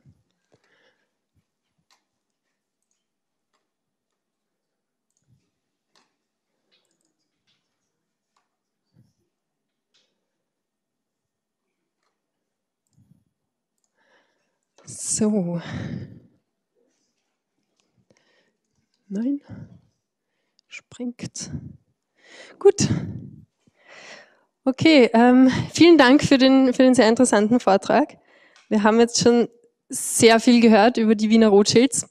Und jetzt geht es um einen Rothschild im Speziellen, der für uns hier an der Sternwarte sehr, sehr wichtig ist. Und zwar um den Albert ähm, und um seine Geschichte und seine Beziehung zur Universität Sternwarte Wien. Ähm, wenn das Wetter nicht so fürchterlich wäre, dann würde ich jetzt vorschlagen, wir machen eine kurze Pause und gehen eine Runde im Park spazieren. Was wir dort finden würden, wäre ein wunderschönes ähm, Nebengebäude, ein kleines Gebäude neben der Sternwarte im westlichen Bereich, das ein bisschen ausschaut wie ein kleines Schlösschen. Wer von Ihnen kennt das Gebäude? Alle anderen dürfen bei schönem Wetter wieder wiederkommen und es sich anschauen. Ähm, und wenn man sich das Gebäude genau anschaut, dann sieht man eine Steintafel, die da drauf montiert ist beim Eingangsbereich. Und auf dieser Tafel steht der Erforschung des Himmels gewidmet. Ist jetzt nicht so überraschend in einer Sternwarte. Ähm, aber wenn man sich da ein bisschen genauer anschaut, dann sieht man, dass da unten noch weitere Buchstaben sind, die man nicht mehr lesen kann. Und diese Buchstaben, wenn man das im richtigen Winkel fotografiert und ein bisschen trickst mit dem Licht, hoppala, ähm, ergeben auch einen Sinn. Und zwar steht da ähm, nämlich nicht nur diese erste Zeile, sondern da steht der Erforschung des Himmels gewidmet von Albert Freiherrn von Rothschild. Wir haben das gesehen. Wir haben uns gefragt, was ist denn mit diesem Albert gewesen? Warum hat denn der da eine Widmung drauf? Ja? Und vor allem, warum sieht man die nicht mehr? Und haben Nachforschungen angestellt und das ist das, was ich, ich Ihnen heute präsentieren darf. Wer ist wir? Das nicht. ähm, wir sind die Gruppe AstroQD. Wir haben vor einiger Zeit uns angefangen, Sorgen zu machen über die Gebäude, die da draußen stehen im Sternwartepark, weil sie in einem immer schlechteren Zustand sind haben uns überlegt, was können wir machen und haben uns gedacht, das erste ist mal Informationen sammeln. Ähm, das sind die Mitglieder unserer Gruppe, meine Wenigkeit, Oliver Tschoske, ähm, Fabian Haberhauer, Josef Rohn, Franz Kerschbaum, Tanja Rindler-Daller, Markus Rockenbauer und Werner Weiß. Ähm, wir haben aber ganz, ganz viel Hilfe auch von, von außerhalb bekommen, ähm, von außerhalb vom Institut, zum Beispiel vom Wiener Cottage Verein. Ähm, und ganz, ganz besonders viel Hilfe haben wir von Claudia Einhorn bekommen vom äh, Verein Kufner Sternwarte. Und die Dinge, die ich Ihnen jetzt heute präsentiere, die Dokumente, die ich Ihnen zeigen werde, die sind wirklich ähm, aufgefunden worden von im Archiv herumsuchen von eben Claudia Einhorn und von Werner Weiß zusammen. Ähm, und die haben da wirklich großartige Arbeit geleistet. Ähm, vielleicht noch ganz kurz, ich bin keine Historikerin. Ähm, ich bin Doktorandin am Institut für Astrophysik. Ähm, das heißt, ich bin mehr für die astronomischen Fragen äh, zuständig. Und ähm, ja, werden wir schauen, wie, das, wie der historische Teil funktioniert. Ein Dokument, das wir gefunden haben, war zum Beispiel die Geburtsurkunde von Salomon Albert Anselm Freiherr von Rothschild. Und auf dieser Geburtsurkunde steht überraschenderweise nicht Wien. Deswegen habe ich mich vorher auch gefragt, wie das denn war in der Zeit. Ähm, 1844 ist er geboren. Und zwar steht da Frankfurt am Main. Interessant. Ich habe mir jetzt eben gedacht, vielleicht, hat das, vielleicht hängt das damit zusammen. Ne? Ähm, und dieser Salomon Albert Anselm war eben der jüngste Sohn von Al äh, Anselm und der Enkelsohn von Salomon. Und deswegen hat er auch den Namen bekommen. Und man hat ihn in der Familie liebevoll Salbert genannt, statt Salomon Albert. Ähm, wir kennen ihn aber in der Literatur auch als Baron Albert von Rothschild. Der Baron ähm, war damals in der französischen Sprache und in anderen europäischen Sprachen dem Freiherrn ähnlich oder gleichgestellt. Deswegen wird er auch oft so bezeichnet in der Literatur. Ähm, genau, der Albert war zwar der jüngste Sohn, ähm, aber man hat ihm trotzdem das Erbe der Bankgeschäfte äh, übertragen und man hat ihn natürlich auch gut ausgebildet, um, um, diese, um dieses Erbe zu übernehmen.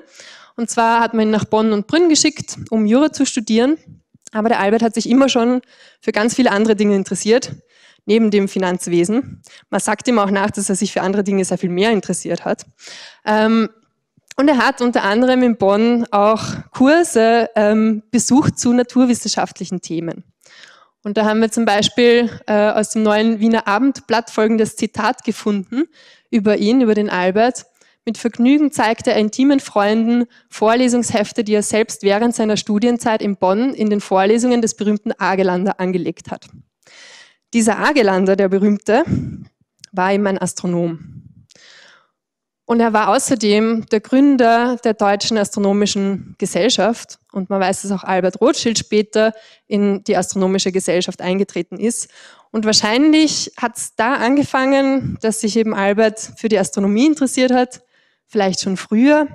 Ähm, aber auch in Wien war zu der Zeit einiges los, was die Astronomie betrifft. Und zwar ist eben die neue Universität Sternwarte gebaut worden, hier, das, wo wir uns gerade befinden. Und es war damals schon eine kleine Sensation. Sie ist nämlich immer noch die weltgrößte baulich geschlossene Sternwarte mit 101 mal 73 Metern und ähm, hat damals auch das weltgrößte Linsenteleskop beheimatet. Heute ist es nur mehr das neuntgrößte oder so irgendwas. Also es ist immer noch sehr erstaunlich.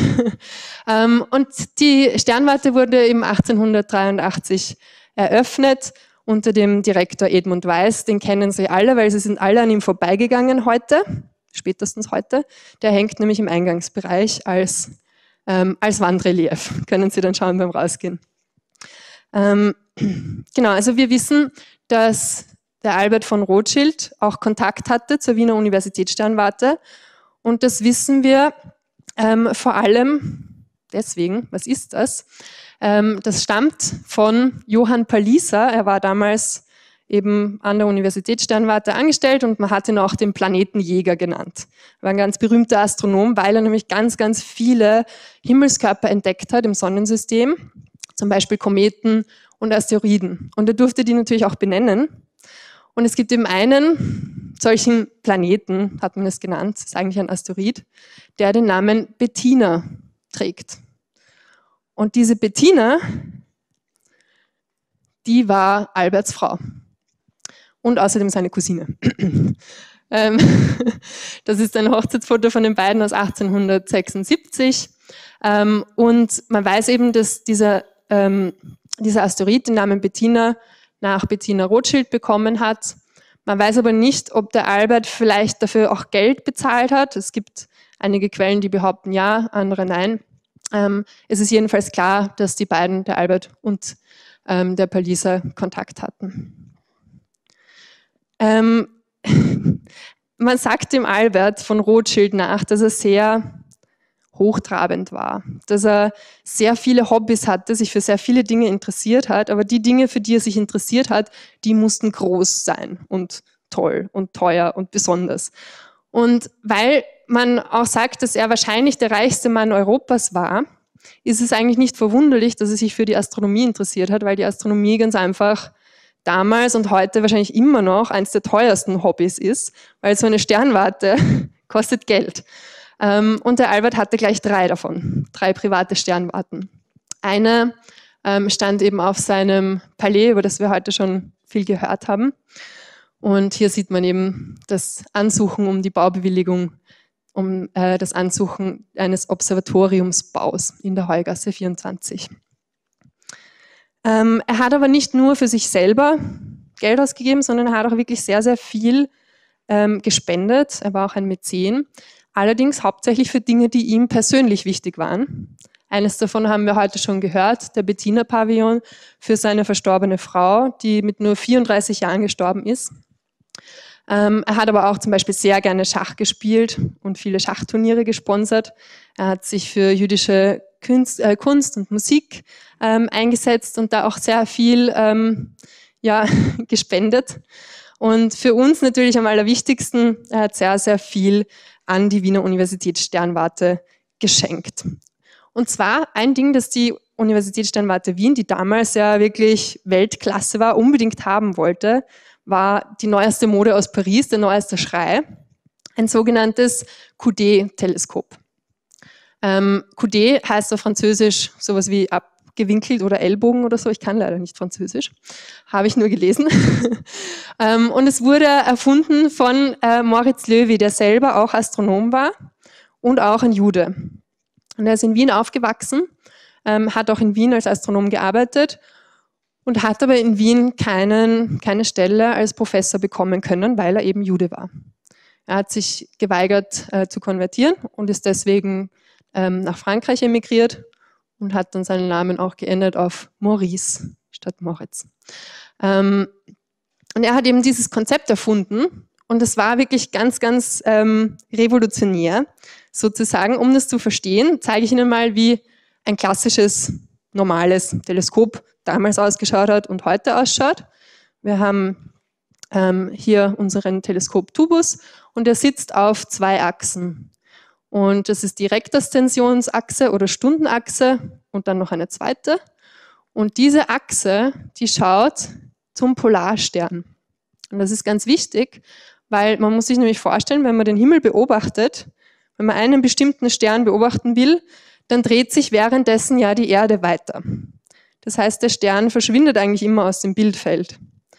Und damit das nicht passiert, muss man das Teleskop immer ein bisschen nachführen. Und das geht am einfachsten, wenn die Drehachse genau parallel ist zur Drehachse der Erde. Deswegen die Rektaszensionsachse, die zeigt zum Polarstern. Ähm, man kann das auch anders machen, aber das ist eine, eine gängige Montierung. Und dann gibt es natürlich auch noch eine zweite Achse, die Deklinationsachse, damit ich alle Punkte am Himmel anschauen kann. Klassische Montierung. Das Problem daran ist, Sie können sich wahrscheinlich vorstellen, wenn ich jetzt zum Beispiel einen Punkt ganz weit oben anschauen will, dann muss ich ja selber als Beobachter, da schaut man rein ins Okular, irgendwie nach unten kriechen, ja, um da reinschauen zu können. Ähm, und damals, in der Zeit, gab es auch noch keine Computer, Kameras waren so gerade am Kommen, aber noch nicht äh, wirklich im Einsatz. Und, ähm, und man musste wirklich alles mit den Augen beobachten. Also man hat wirklich durchschauen müssen und hatte Zettel und Stift und hat ähm, Notizen gemacht, Zeichnungen gemacht. Und es war ein sehr anstrengender, körperlich anstrengender Job. Und in dieser eigenartigen Haltung, die man manchmal einnehmen musste, natürlich noch viel anstrengender. Und der Moritz Löwy hatte eine Lösung für dieses Problem. Und zwar, indem man die Achsen, die beiden, die wir hier auch haben, ähm, nicht irgendwie separat hat, sondern das ganze Teleskop ist die Achse sozusagen. Und das Licht wird eben durchgeleitet durch diese Achsen. Das ist eben dieses QD-Prinzip. Der Vorteil, man hat immer noch die, gleiche, ähm, die gleichen Drehmöglichkeiten, man zeigt, schaut immer noch in Richtung ähm, Nordstern, aber der Beobachter kann gemütlich in seinem Beobachtungszimmer sitzen, auf einem Sessel, muss sich nicht verrenken. Das bleibt immer an der gleichen Stelle hier ähm, und kann schön gemütlich Kaffee trinken oder Tee trinken und man kann das auch heizen, diesen Raum. Und das war damals total revolutionär. Und man hat sich natürlich davon versprochen, wenn die Astronomen länger arbeiten können, weil das weniger anstrengend ist, gibt es sicher auch bessere Forschungsergebnisse. Deswegen musste Wien unbedingt so eines haben. Und man hat so eines angeschafft und man musste natürlich auch ein besonderes Zuhause dafür bauen, für dieses, ähm, für dieses Teleskop. Und hier sieht man eine Zeichnung davon und vielleicht erkennen es einige von Ihnen wieder. Ähm, es ist eine Skizze von diesem QD-Gebäude, wo eben hier dieses Ellbogenteleskop drinnen ist. Da ist der Beobachtungsraum. Und es wurde 1889 gebaut von Fellner und Helmer, die auch die, das Hauptgebäude gebaut haben, ähm, um ungefähr um, umgerechnet 1,2 Millionen Euro. Also sehr viel Geld.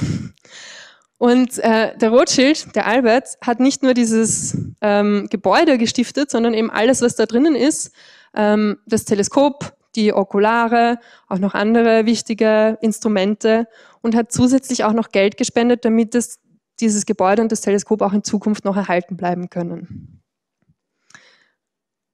Ähm, genau, außerdem hat er noch eine Pendeluhr gespendet. Pendeluhren waren nämlich total wichtig beim Beobachten damals. So konnten nämlich die Astronomen, die ja mit dem Auge beobachten mussten und durchschauen mussten, auch Zeitmessungen vornehmen, indem sie einfach die Zeit gehört haben. Also die Pendelbewegung hat halt ein Klicken gemacht und das hat man wirklich zum, zur Zeitmessung auch benutzt. Und das war das ähm, Innenleben von diesem QD-Gebäude. Und ich gehe vielleicht nochmal kurz zurück. Also das war jetzt hier dieser Raum, ja, den man da sieht. Und so hat es dann wirklich ausgeschaut, wie es fertig war. Durchaus ganz gemütlich. Da ist eben ähm, das Okular, wo man hineinschaut in dieses große Teleskop. So war das, ähm, hat das fertige Gebäude dann ausgeschaut damals. Das war ungefähr um 1900. Und hier sieht man auch das Teleskop, das ausgefahren ist. Und Sie sehen auch daneben gibt es noch ein anderes Gebäude und das ist auch ganz interessant. Das ist das Astrographengebäude. Ähm, es ist wahrscheinlich ein bisschen später gebaut worden. Es ist nicht ganz klar aus den Quellen, ähm, aber wir wissen, dass um 1895 ein Astrograph äh, bestellt wurde. Man hat für die Anschaffung, Aufstellung und Errichtung eines astrofotografischen Fernrohres für die Universitätssternwarte 15.000 Kronen in zwei Raten gezahlt. Dieses ähm, Instrument, dieses astrofotografische Fernrohr, war was ganz Besonderes auch wieder. Und zwar konnte man damit gleichzeitig, also einerseits beobachten mit dem Auge, wie man es schon kannte, und andererseits auch Fotos machen. Also es gibt hier zwei Fernrohre und das ist tatsächlich dieses Instrument, das damals gekauft wurde. Ähm, und es gibt es auch immer noch. Und auch das Gebäude gibt es immer noch. Ähm, also man konnte damit Fotos machen, unter anderem. Das war wirklich ganz besonders und man hat damit ganz genau die Sternpositionen messen können am Himmel. Das hat man vor allem deswegen gemacht, um zu verstehen, wie denn eigentlich die Sterne verteilt sind in unserer Umgebung und eine ganz wichtige andere Sache war noch, ähm, auch zu schauen, ob die Sterne sich verändern. Ob die immer gleich sind oder sich verändern und auch um zu schauen, ob es zum Beispiel irgendwelche anderen Himmelskörper gibt, die irgendwie durchflitzen, die schneller sind oder so. Und ein ganz, ganz wichtiges Gerät, was man dazu gebraucht hat, war der sogenannte Blinkkomparator. Und den können wir eben heute noch anschauen. Der steht tatsächlich im Keller, nämlich wirklich noch immer dieses Ding. Ähm, schaut total eigenartig aus. Es ist, schaut überhaupt nicht aus wie ein astronomisches Instrument. Das ist hier ein originales Bild und das ist wirklich, wie er jetzt ausschaut. Ähm, und zwar kann man hier zwei Fotos einspannen, Fotoplatten. Und es gibt ähm, zwei Lampen und diese Bilder werden abwechselnd beleuchtet und man kann dann da vorne reinschauen. Das ist ein bisschen wie in ein Mikroskop hineinschauen und sieht abwechselnd zwei verschiedene Bilder. Warum macht man das? Was bringt das? Wir probieren es aus. Ein Bild, zweites Bild. Und ich lasse es hin und her blinken. Und dann sieht man auch schon, woher der Name Blinkkomparator kommt. Man sieht einfach sofort auf einen Blick, wenn sich irgendwas ändert, wenn Sterne heller werden, dunkler werden, wenn irgendwas sich bewegt, äh, entgegen des Sternenhintergrundes. Und dafür wurde das eben eingesetzt. Und dieser Blinkkomparator wurde auch wieder, wer hätte erraten, von Albert von Rothschild gestiftet, ungefähr um 1907. Er hat aber noch mehr gemacht und zwar ähm, hat er eben eine Stiftung für Astronomen zur finanziellen Unterstützung ähm, gemacht und zwar aus eigentlich tragischen Gründen, weil sein Sohn Oskar ähm, sehr, sehr früh gestorben ist. Oskar war ungefähr vier Jahre alt, wie seine Mutter gestorben ist und hat sich dann mit 21 Jahren das Leben genommen. Und er war selber auch, also Oskar war auch total begeisterter Astronom und Mathematiker. Ähm, ich glaube, er hat sogar äh, Physik studiert. Und ja, als er gestorben ist, hat der Albert eben ihm zu Ehren diese Stiftung für Astronomen ins Leben gerufen. Und das Besondere an dieser Stiftung war, ähm, dass also man konnte da Stipendien und Preise und Expeditionen damit bezahlen, das steht so im Stiftbrief drinnen. Aber das Besondere daran war, dass es eben für die Nachwuchsförderung gedacht war, also für junge Astronomen.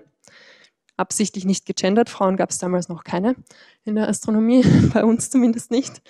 Ähm, genau, und Professoren waren ausgenommen, also nur für Junge. Ähm, und es waren ungefähr 4000 Kronen jährlich. Also das beantwortet jetzt vielleicht auch die Frage, was denn die Rothschilds sonst noch so gestiftet haben. Das war recht viel, was der Albert gestiftet hat. Ähm, nicht ganz so viel, wie das, was sein Bruder gemacht hat, auch für gemeinnützige Zwecke, aber für uns, für die Sternwarte natürlich extrem wichtig. Und jetzt ist natürlich die Frage, was ist davon noch übrig? Ist davon noch irgendwas übrig? Und das wollen wir uns jetzt anschauen. Also man hat den QD tatsächlich lange Zeit benutzt anfangs bis ungefähr 1903 für visuelle Beobachtungen ähm, von Planeten, Kometen, Asteroiden. Und hier sieht man zum Beispiel eine Aufnahme, was wirklich mit dem QD-Teleskop gemacht worden ist vom Mond. Ähm, 1903 ist dann was Blödes passiert. Und das ist hier so lustig beschrieben, dass ich das vorlesen muss. Und zwar ähm, schreibt eben der Adolf Natek, ich weiß nicht, warum das da so weiß drüber ist, ähm, Adolf Natek äh, schreibt, dass der damalige Direktor von der Universität Sternwarte Folgendes gesagt hat. Die isolierte Lage und die Eleganz des Pavillons haben nicht verfehlt, Diebe anzulocken, denen unter vollständiger Wahrung ihres Inkognitos gelegentlich zweier Besuche gelungen ist, das QD fast aller Bestandteile von eigenem Metallwert, einigen Metallwerte zu entkleiden. Sehr schöne Formulierung für, ja, die haben halt alles gefladert. So ungefähr. Man hat äh, dann aber noch Geld übrig gehabt, nämlich aus dieser, aus dieser Stiftung. Ja, da war eben auch Geld für die Erhaltung mit eingeplant und konnte ähm, dann alles wieder renovieren. 1911 ungefähr war die Renovierung abgeschlossen. Ähm, 1911 ist aber auch Albert von Rothschild selber gestorben. Und man hat dann zu seinen Ehren das Gebäude und das Instrument Rothschild QD umbenannt. Und es wurde dann auch wirklich in den Publikationen, also ähm, in den ja, Forschungen wurde es immer so genannt. Ähm, 1912 kam dann der Adolf Natek, über den wir schon gehört haben, der übrigens einer war, der auch sein Stipendium aus dieser Rothschild-Stiftung bekommen hat, auf die Idee, dass es doch gut wäre, wenn man an der Universität Sternwarte Spektroskopie betreiben könnte, moderne Astrophysik. Mit der Spektroskopie kann man nämlich schauen, nicht nur, wo sind die Sterne, wie bewegen sie sich, wie hell sind sie, sondern man kann auch wirklich schauen, was ist denn da drinnen in so einem Stern. Und das macht man eben, indem man das Licht vom Stern aufspaltet in seine Farben und dann sieht man unterschiedliche helle, dunkle Bereiche in den verschiedenen Farben des Lichts. Und hier sieht man zum Beispiel ein Sonnenspektrum. Ähm, auch das ist ein Sonnenspektrum und zwar aufgenommen mit einem ganz besonderen Instrument, mit einem Spektrographen, den man hier sieht. Und zwar ist eben dieser Adolf Natek auf die Idee gekommen, man könnte ja dieses praktische QD-Prinzip, wo eben das Okular feststeht, auch für was anderes benutzen, außer dass die Astronomen es schön warm haben. Und man könnte auch sehr schwere Geräte dort unterbringen, weil der Vorteil ist, es muss sich nicht mitbewegen. Und ähm, Sie sehen, der Spektrograph schaut wirklich sehr massiv aus und man hat dafür extra Schienen angebracht, damit man ihn auch vor zurück schieben kann und in Position bringen kann. Aber man konnte ihn eben dort lassen. Der ist immer dort gehangen auf den Schienen und man konnte ihn einfach rüberschieben, wenn man ihn gebraucht hat und zurück, wenn man ihn nicht gebraucht hat. Und genau, mit diesem Instrument konnte man dann eben auch dieses Spektrum hier aufnehmen. Das ist ein Original. Und dieses Spektrum hier ist tatsächlich auch vom selben Instrument, das aber eben mittlerweile bei uns im Keller steht das Sie auch nachher anschauen können, wenn Sie wollen. Wir benutzen es sogar immer noch ähm, für Praktika. Was ist noch geblieben vom Erbe von Albert von Rothschild? Ähm, es gibt einen Asteroiden, der den Namen Albert trägt. Und der wurde natürlich, ähm, Überraschung, wieder von unserem bekannten Palliser entdeckt und nach ihm benannt, also nach Albert von Rothschild benannt, nach seinem Tod. Dann aber voll, ist, ist er aber verloren gegangen, man wusste nicht mehr, wo er ist und man hat ihn dann im Jahr 2000 wiedergefunden. Und da kann man ihn sehen, nämlich der Punkt in der Mitte, der sich eben bewegt. Ja, 1918 haben wir schon gehört, Hyperinflation von der Stiftung für Astronomen, die Oskar Freiherr von Rothschildsche Astronomische Stiftung, ist nichts mehr übrig geblieben. Ähm, 1918 hat es nicht mehr gereicht, um Stipendien auszuzahlen. 1924 waren es vielleicht noch 50 Euro oder so, die übrig waren, also umgerechnet. Ja.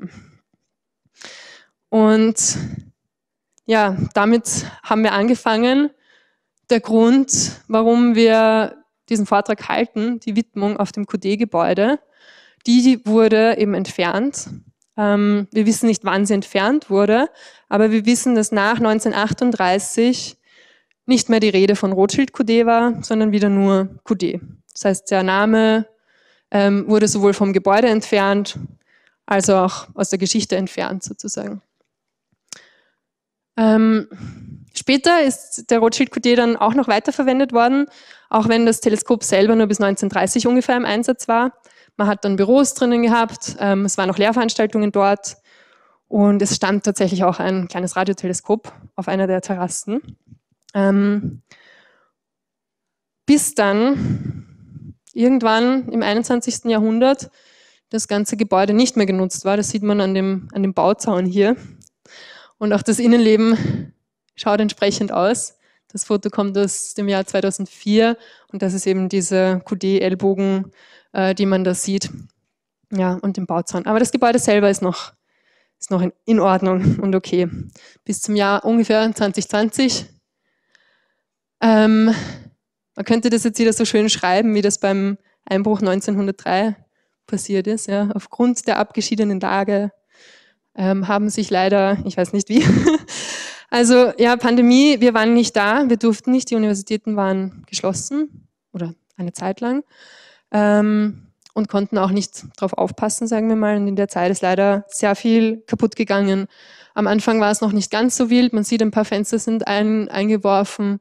Später ist es dann immer schlimmer geworden. Ähm, auch der, ja, die Innenräume waren eigentlich sehr hübsch davor mit so einer vertiefelten Decke.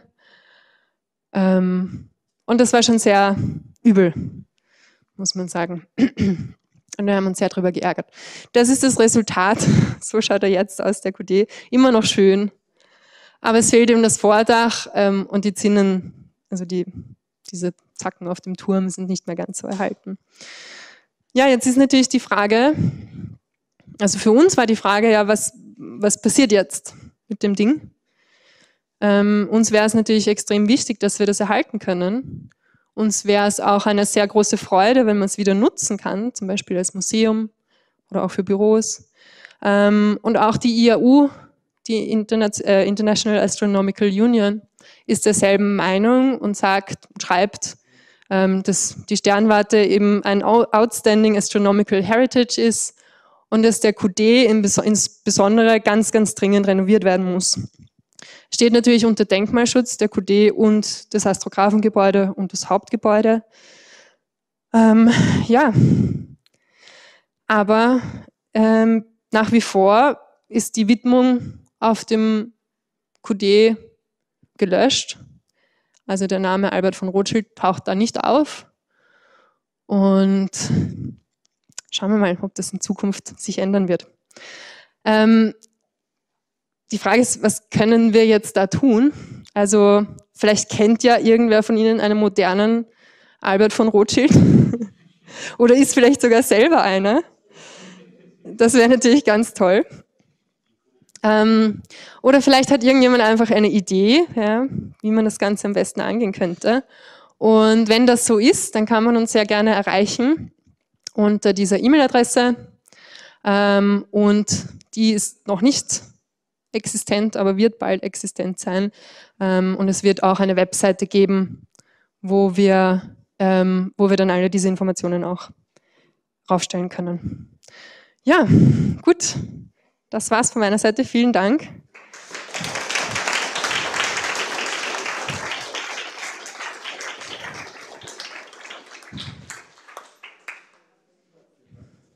Habe ich jetzt zum Schluss irgendeinen Blödsinn gesagt?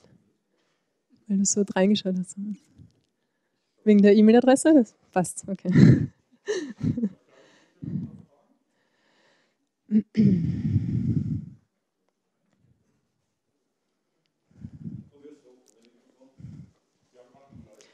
Es ist für die Online-Zuhörer.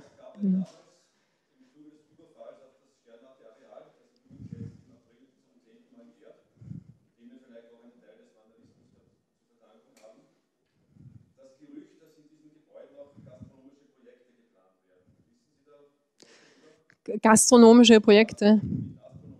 Darüber weiß ich nichts. Nein, also wir wissen, dass es durchaus äh, diverse Überlegungen gab von, von der Uni-Seite und, und von BIG-Seite, aber wir haben keine genauen Informationen leider, ähm, was, was geplant war.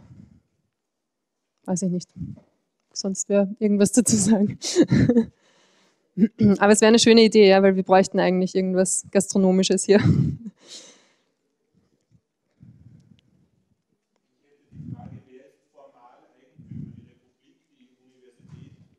Die Bundesimmobiliengesellschaft. Ja.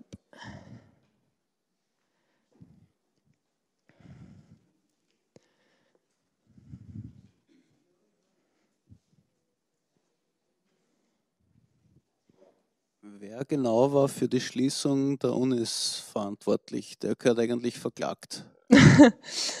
ja, für die, wer genau war für die Schließung der Unis verantwortlich während Corona? Ja, also man muss sagen, wir haben, wir haben ja auch nicht damit rechnen können, dass, dass das so schlimm wird. Es gab vorher schon Vandalismus, äh, aber nicht in dem Ausmaß. Also es wurde Polizei eingeschaltet, ähm, aber weiß man nicht. Also es ist, ja, es ist auch so, dass äh, leider zwischendurch ähm, das QD-Gebäude im Speziellen gelistet war auf einer Seite für gelangweilte Menschen, die gerne in Häuser einbrechen. Äh, das heißt, ja, ich meine, es ist einfach wirklich schön. Und der Park ist halt, wenn niemand da ist, natürlich abgelegen, leider. Und es ist wirklich kein Problem, über die Mauer zu kommen. Also insofern hat, glaube ich, die Öffnung des Parks vor zehn Jahren damit nicht so viel zu tun. Auch die Schließung der Universitäten hat damit nicht so viel zu tun. Man findet hier auch am Wochenende, wenn auch niemand da ist, wenn der Park eigentlich zu ist. Jugendliche, die den Park für sich entdeckt haben.